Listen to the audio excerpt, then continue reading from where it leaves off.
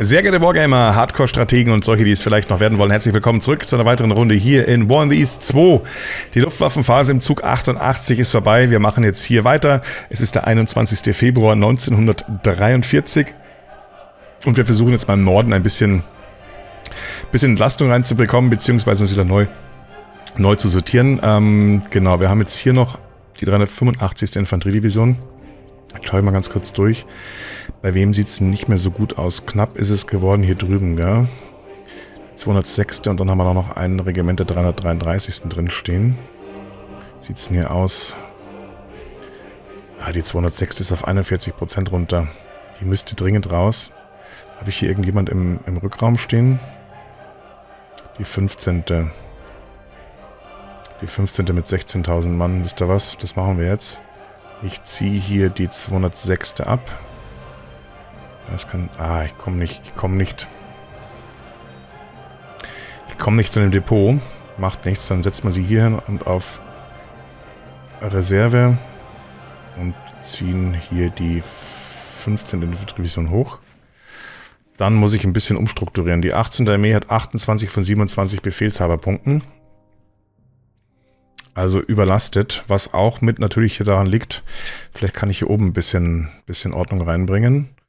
Sollte gehen. Äh, die 15. Infanteriedivision kann hier alleine verteidigen. Wir ziehen die 333. wieder hier rüber. Und damit sollte die 18. Armee ja wieder auf dem Ziel sein. 27 von 27. Trotzdem muss ich natürlich noch umstrukturieren. Wir nehmen raus. Die ist voll. Die ist voll, aber die können wir hier übergeben. Die übergeben wir direkt an die 18. Armee. Und dann ist hier wieder Luft beim ersten Chor für die 15. Infanteriedivision. Erstes Chor. Dann ist die durchsortiert. So, und jetzt habe ich hier drüben noch ein kleines Problem. Die 385. gehört hier sogar noch bloß zur Armeegruppe Nord. Jetzt habe ich wieder Schmarrn gemacht.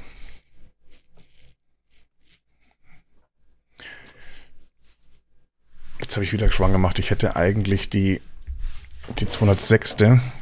hätte ich mal besser direkt zu, zu, zur Heeresgruppe zugeordnet. Dann wäre bei der 18 Armee der Luft gewesen. Aber das ist jetzt, der Zug ist abgefahren. Kann ich hier noch irgendjemand irgendwo rausnehmen? Die 18. Armee ist echt. Wie viele Chors? Eins, zwei, drei, vier Chors sind bei der 18. Armee schon. Das Reservekorps. Hm. Ich befürchte, ich muss den sauren Apfel beißen und tatsächlich hier die 385. Infanteriedivision immer noch beim bei der Heeresgruppe unterordnen.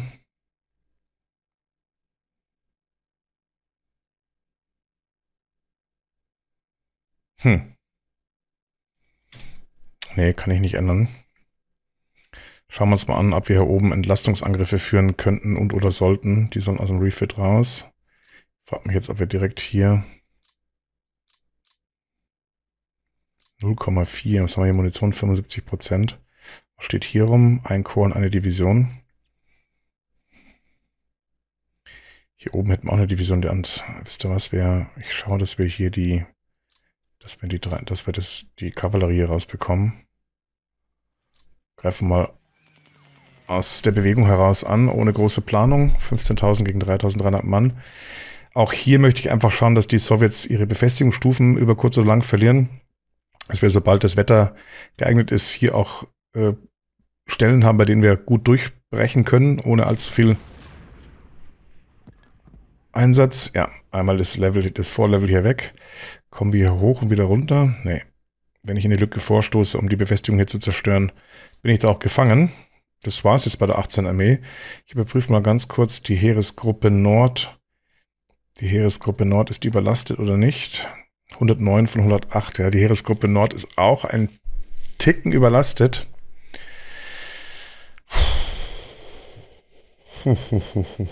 müsste, müsste ich einen loswerden. Ich wusste die Frage, wen. Weiß ich gerade nicht so genau. Okay. Ansonsten sieht es hier aber ganz vernünftig aus. Hatten wir in dem Bereich noch Angriffe? Einmal hier 1 zu 4,6 wird angegriffen. Artilleriedivision, Brigade, Brigade, Artilleriedivision. Blödsinniger Angriff hier. Würde ich aber sagen, zahlen es der Artilleriedivision hier heim. 2,1 zu 1,0. Wir haben 90% Munition. Können wir voll reingehen.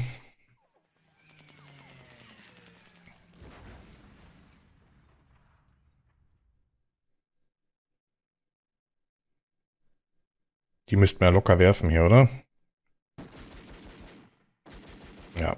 Aber doch recht schwere Verluste hier. 405 Mann auf unserer Seite, 106 auf, auf sowjetischer Seite. Aber auch hier gilt es äh, vor allem, dass die Einheiten hier sich nicht so tief eingraben können. Ähm, kommen wir hier rein und wieder zurück. Ja, dann nehmen wir die Befestigungsstufe hier auch noch weg. Ich bin natürlich auch versucht, jetzt hier schon weiter Richtung Osten vorzurücken, aber ich, ich bleibe jetzt dabei. Ich mache es nicht. Meine Einheiten sollen jetzt möglichst sich, sich stärken für die Sommeroffensive. Ähm, aber die Division hier, die würde ich gerne rausbekommen. Die Polizei-Infanteriedivision. 120% Munition ist auch ausgeruht. Das ist ein ja, leichte Wälder, macht nichts. Wir fügen jetzt hier Schaden zu. Und zwar mit einem geplanten Angriff. Geht natürlich auf die Munition.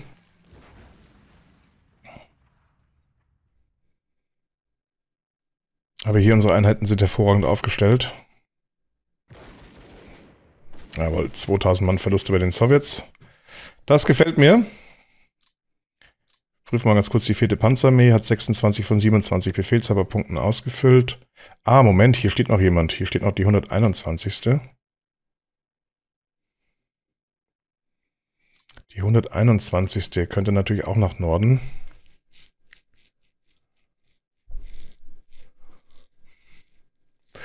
Glaube, das Problem der Überlastung der Heeresgruppe Nord kriege ich momentan nicht wirklich raus. Also die vierte Panzerarmee ist voll, die 18. Armee ist voll und die, schauen wir mal bei der zweiten nach, zweite Armee ist ebenfalls voll. Ich müsste quasi eine Infanteriedivision loswerden, damit die Heeresgruppe Nord nicht überlastet ist. Hm. Das Panzerkorps laden wir jetzt hier mal ab.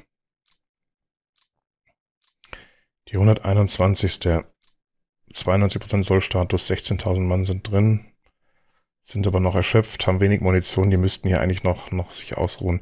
Wisst ihr was, das lassen wir jetzt erstmal. Hier oben war ja keine große Gefahr. Das können wir erstmal lassen. Wir werden die Festungsstufe jetzt hier wegnehmen und verlegen uns natürlich wieder, wieder zurück. Okay. Zweite Armee, 26 von 27 Befehlshaberpunkten. Das 35. Korps 8 von 9. Ich frage mich gerade, warum stehen hier so viele Einheiten drin? Ah, das sind die Reparatureinheiten. Die gehören hier zu dem Korps dazu. Macht das noch Sinn? Macht keinen Sinn mehr. Die kann ich eigentlich freigeben. Beziehungsweise ich könnte sie hier oben Nee, komm, wisst ihr was? Ich gebe die frei, die beiden Einheiten hier. Die dürfen zur Heeresgruppe, eben nicht zur Heeresgruppe Nord. Heeresgruppe Mitte. Auch die hier zur Heeresgruppe Mitte. Und vielleicht ist das auch des Rätsels Lösung. Vielleicht sind bei der Heeresgruppe Nord zu viele Nee, sind nicht so viele Einheiten. Ich habe gerade geschaut, ob da nicht irgendwelche Feldeisenbahndirektionen oder sowas dranhängen. Die können das durchaus auch dieses Konto hier belasten, ist aber nicht der Fall. Dann lassen wir das. 8 von 9. Ja, das wird jetzt in den nächsten Wochen also noch so ein bisschen so weitergehen, dass ich hier wirklich schon schauen muss, dass ich alles gut organisiert habe. Mensch, die stehen gut da, die 229. 128% Munition. Da müsste man mal jemand rauslösen. Wen müssen wir rauslösen? Ähm, da habe ich schon Kandidaten hier unten. Die 61. Infanteriedivision. Hat die auch nur gerade gehalten. Schaut es denn bei denen aus? 10.000 Mann, 50% Munition, 43% Erschöpfung. Äh, die müssen raus. Auf 48% runter. Kriege ich sie auf dem Depot? Ja. Wir ziehen sie raus. Einmal auf Refit. Ich sehe gerade die 197. Ah, da fehlt es noch an der Munition. Komm, wir ziehen die 269. Ist jetzt hier in den Stand eine Lücke. Müssen wir jetzt hier unten aber ein kleines bisschen umsortieren, würde ich sagen. 1, 2, 3, 4. Was haben wir denn hier stehen? Das 23. Chor. Auch keine Luft mehr.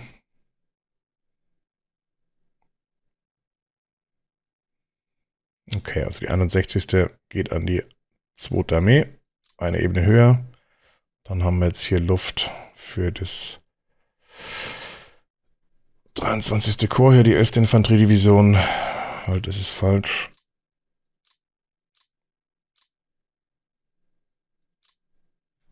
Die war's, oder? Die muss ich mit runterziehen. Ans 23. Korps. Bei der zweiten Armee sieht es eigentlich ganz gut aus, muss ich sagen.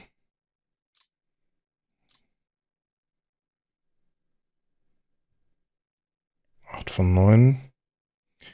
Dann haben wir hier noch eine Einheit, die gehört ausgetauscht, die 306. Infanteriedivision, 64% Sollstatus. Ist recht erschöpft. Nachschub haben sie, äh, Supplies haben sie so gut wie gar keinen mehr. Das heißt, wir können die ebenfalls austauschen. Dann nehmen wir die 197. her.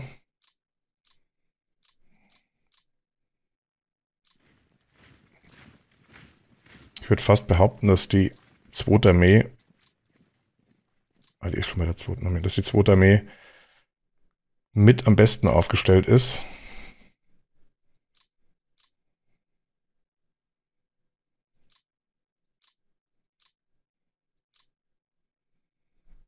So. Dann geben wir die auch noch zum 42. Chor hier.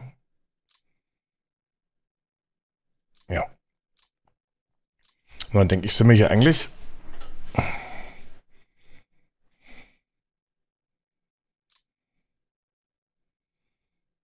Ja, die Brigade hier könnte man eigentlich auch noch losbringen, ja.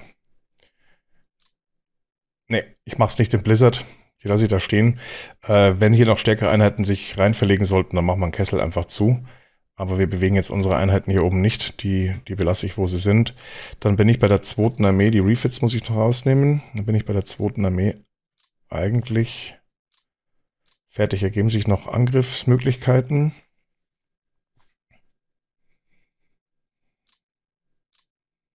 Ja, komm, wir greifen die doch an. Ungeplant aus der schnellen Bewegung raus.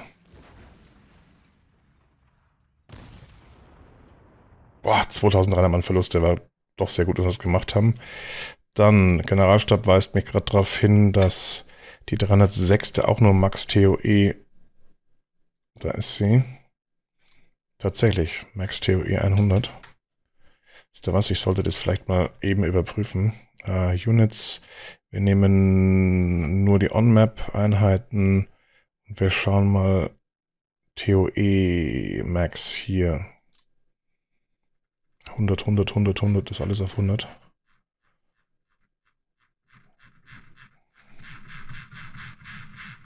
Ui.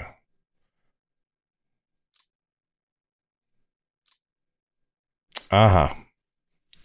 Bei den Ungarn und so sieht es noch ein bisschen, aber die deutschen Einheiten, nee, da bin ich zu weit runtergerutscht. Da ist doch ganz schönes Kraut und Rüben hier drin. Nee, Schmarrn, war es nicht. Jetzt habe ich in der falschen Spalte geschaut. Jetzt haben wir alle auf 100. Sehr aufmerksam hier vom Generalstab.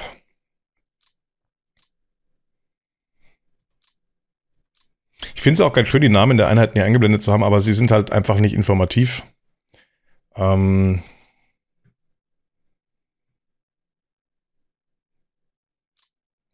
die auf Refit. Die müssen auf Refit stellen. Das müsste jetzt eigentlich bedeuten, dass wir im Rahmen der zweiten Armee fertig sind. Kann ich noch irgendwo angreifen? Was haben wir denn hier stehen? Eine Brigade. Mechanisiertes Chor. Ist aber auch eingegraben. Brigade. Nee. Ich greife hier in dem Bereich jetzt nicht mehr an. Muss ich mir jetzt einfach mal das tun, was ich auch sage. Vierte Panzerarmee beprüfen wir die mal 26 von 27. Bei der vierten Panzerarmee habe ich 1, 2, 3, 4, 5 Chors. Ein Chor wollte ich frei machen und zwar zur 16 Armee schicken. Dieses Armeekorps hier, das 53. Schauen wir noch mal vorbei, ob das 53. Wo ist es denn?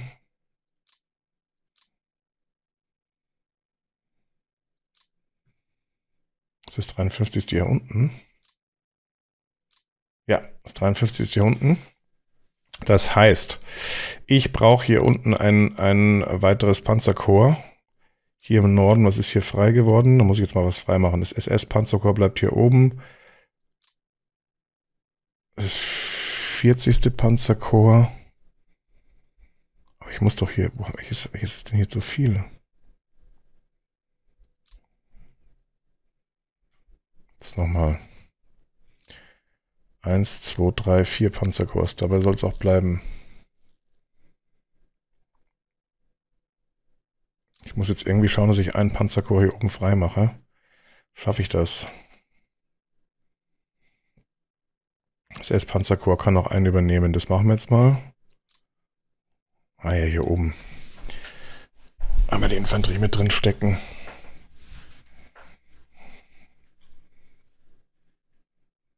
Muss einen Panzerkorps freimachen. Dann machen wir das jetzt so. Wir nehmen das hier oben die 17. Infanteriedivision zum SS-Panzerkorps dazu. Das heißt, wir haben hier noch eine Einheit.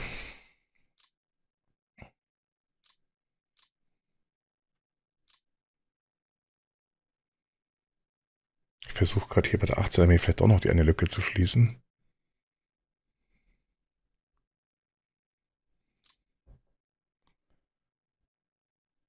Ja, das kriege ich hin. Sehe ich jetzt gerade. Gehört zur 18. Armee. Dann kommt die Einheit hier zum 38. Ach, scheiße, geht nicht. Okay, macht nichts.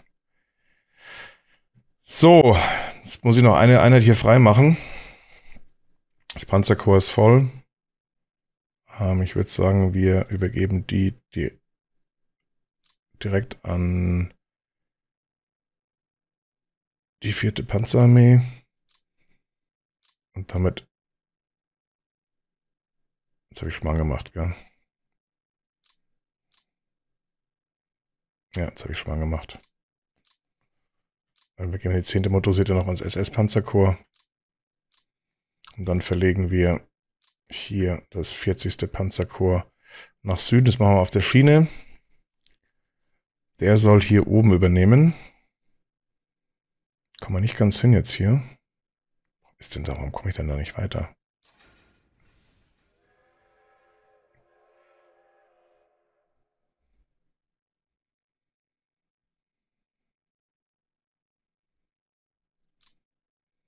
Abladen kann ich sie da nicht. Muss ich es jetzt übergeben hier? Ah nein. Moment, das war ein Schmarrn. Ich habe da unten schon ein Panzerkorps hingestellt. Jetzt, was habe ich denn, was mache ich denn jetzt hier für einen Schmarrn? Hier ist ja schon ein Panzerkorps. Ich will das, ja, das war ein Schmarrn. Totaler Schwachsinn hier. Das Panzerkorps übernimmt jetzt die Einheiten hier oben. Laden wir ab. Hier vorne und das 41. Das bekommen sämtliche Einheiten hier, werden dem 41. Panzerkorps überstellt. 41. Panzerkorps. Das war jetzt eine schwere Geburt. So, das 41. Panzerkorps ist jetzt da, wo es hingehört. Das 53. Korps, wisst ihr was? Ähm, ich weiß tatsächlich noch nicht so hundertprozentig, wo ich den stecke. 16. Armee hätte ich mir mal aufgeschrieben. Ähm, das merke ich mir mal. Ich bewege die jetzt mal Äh, warum kann ich die jetzt nicht bewegen?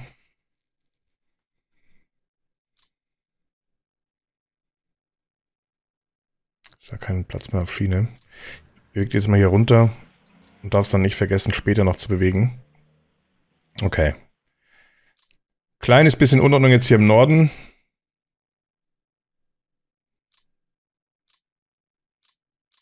Ja, dann kann ich die jetzt wieder hier zuordnen. Ja, kann ich beim nächsten Mal machen.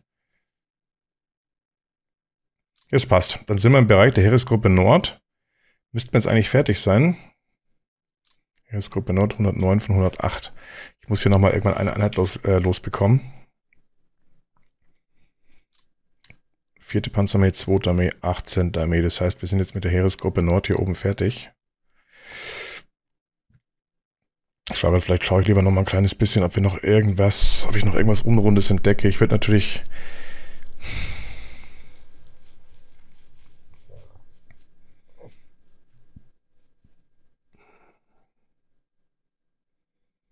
Was haben wir hier? Tiefe Wälder. Wie liefen denn die Angriffe hier in der Nahtstelle zwischen der 2. und der 9. Armee? 1 zu 3,6, 1 zu 2,4, 1 zu 3,6. Weil wir hier natürlich auch wieder schöne Waldgebiete haben, zumindest hier, schwere Waldgebiet hier oben auch. Da würde sich aber natürlich irgendwann mal ein Kessel anbieten. Was steht denn hier eigentlich rum? Was haben wir denn hier stehen? Ein Schützenkorps, eine Brigade, eine Division. Hier ein mechanisiertes Korps und eine Division. Hm. Da brauche ich derzeit keine Angriffe führen. Welche Einheit noch schwach aussieht, ist die 26. hier. 57 Prozent. Die ist hier auch in so einer gefährlichen Eckstellung. Ich glaube, ich tausche die Einheiten hier durch. Wisst ihr was? Wir nehmen die 52. hier. Ah, die kriege ich nicht ganz raus. Hm. Die 26. Infanteriedivision muss hier noch irgendwie raus. Oh, die 227. eigentlich auch. Eigentlich ist gut. Die 227. muss raus. Habe ich hier noch Depots? Komme ich nicht an Depot. Wir bewegen sich schon mal raus und bringen sie jetzt als Reserve. Zug 90. Das werden wir der jetzt auch gleich verbieten hier. Dass die die Karte verlässt. 26,7.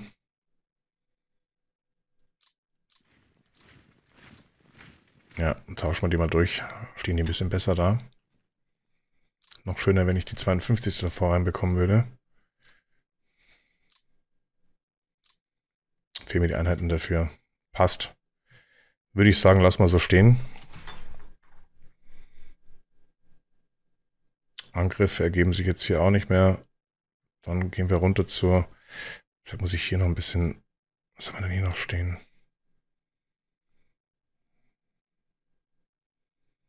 Das Panzerkorps ein bisschen nach Norden.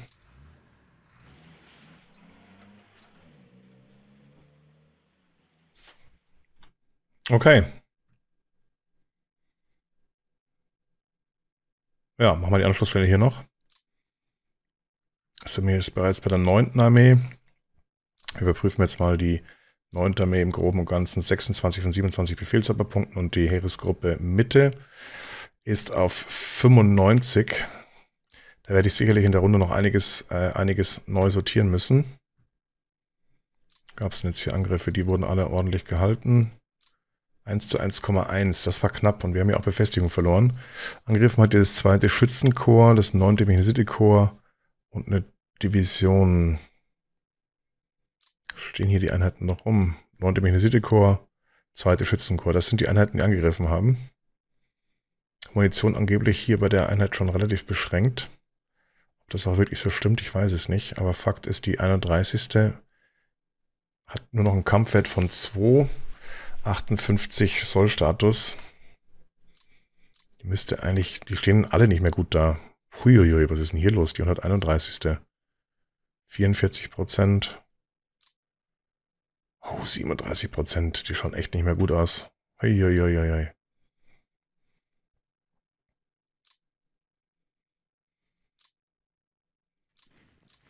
Tauschen wir die beiden mal durch. Ja, 9. Armee ist jetzt echt schwierig. Wie sieht es denn bei der 216. aus? Hat wieder gut Munition, hat gut, gut äh, Soldaten. Die können wir wieder an die Front stellen. Wo wird der Feind jetzt wohl am aktivsten werden? Ist da was? Ich glaube, da lassen wir uns noch ein kleines bisschen Zeit mit der Entscheidung, ob ich die, ob ich die 216. nach Norden verschiebe und dort äh, wahrscheinlich die 6. rausnehme. Hätte man ein Depot. Ja. Oder ob wir das hier unten im Süden machen. Das würde ich sagen, machen wir dann im nächsten Zug, denn wir können mal schauen, wir haben hier ein Panzerkorps, ein Schützenkorps, eine Schützendivision im Kessel, dass wir den Kessel auch halten können. Hier die 162. Die sieht nicht mehr gut aus. 11, 10.000 Mann noch, 6, 47 Prozent Munition. Nee. Da würde ich sagen, schauen wir uns in der nächsten Ausgabe an. Ähm, dann schauen wir erstmal die Kesselverhältnisse und dann kann ich überlegen, wo ich den Rest der 9. Armee noch hinschicke. Bis dahin wünsche ich euch gute taktische, operative und natürlich auch strategische Entscheidungen auf euren Schlachtfeldern. Macht's es gut. Ciao, pfiat euch, Servus.